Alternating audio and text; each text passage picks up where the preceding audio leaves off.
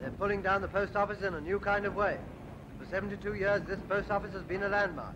Now it's just a target for a ball that weighs 1,800 pounds. What a lovely game, and to think the man gets paid for it.